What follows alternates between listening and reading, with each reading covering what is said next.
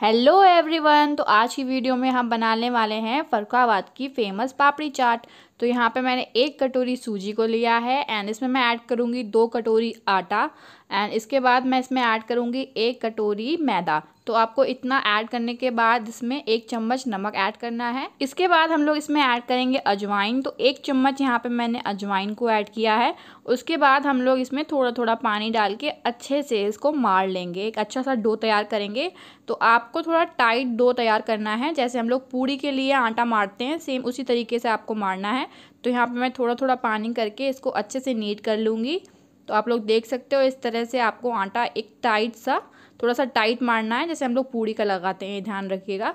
तो यहाँ पे मैंने अच्छे से आटे को मार लिया है। एंड यहाँ पे मैं अच्छे से इसको इस तरह से मल लूँगी, जिससे एक अच्छा सा डो रेडी हो जाए एंड पापड़ी हमारी अच्छी सी रेडी हो।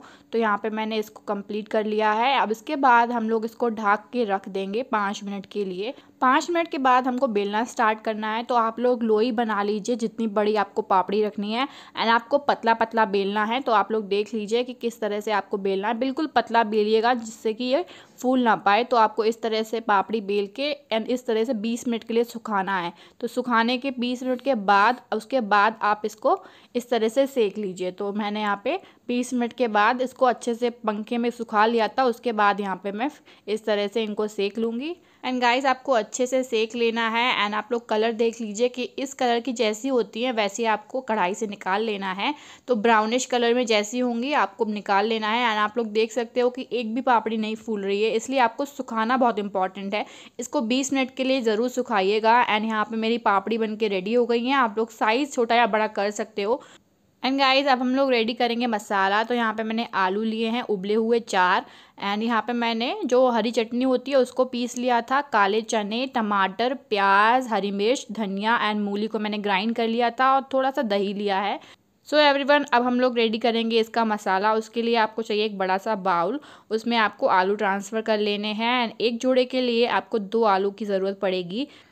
फ्रेंड्स, यहाँ पे मैं दो जोड़े रेडी कर रही हूँ तो मैंने यहाँ पे चार आलू का यूज़ किया है। आपको चाकू से छोटा छोटा आलू काट लेना है। इसके बाद इसमें मैं ऐड करूँगी प्याज, एंड प्याज को भी आपको बारीक काट लेना है, एंड आपको दो चम्मच प्याज ऐड करना है। उसके बाद आपको टमाटर को भी बारीक काट लेना है, एंड आपको दो चम्मच इसमें टमाटर ऐड करना है। इसके बाद आपको काले चने इसमें दो चम्मच ऐड करने हैं। उसके बाद यहाँ पर मैं हरी मिर्च ऐड कर रही हूँ तो यहाँ पे मैंने एक हरी मिर्च का यूज़ किया है। एंड अगर आप लोग ज़्यादा मिर्च खाते हो तो आप लोग ज़्यादा ऐड कर सकते हो। अगर कम खाते तो कम ऐड कर सकते हो। उसके बाद मैंने यहाँ पे थोड़ा सा हरा धनिया डाला है। अब मैं जो हरी चटनी हम लोग घर पे बनाते हैं, वो मैंने ऐड की है। तो इसमें मैंने दो चम्मच हरी चटनी ऐड की है। उसके बाद इसमें मैं ऐड करूँगी एक चम्मच ज़ीरा पाउडर। एंड इसके बाद एक चम्मच काला नमक। एक चम्मच लाल मिर्च पाउडर, एक छोटी चम्मच मैंने यूज़ की है, आप लोग अपने हिसाब से जितना आपको ऐड करना है। एंड इसमें मैं एक चम्मच आमचूर पाउडर ऐड करूँगी एंड इसमें आधा चम्मच मैंने नमक ऐड किया है नॉर्मल।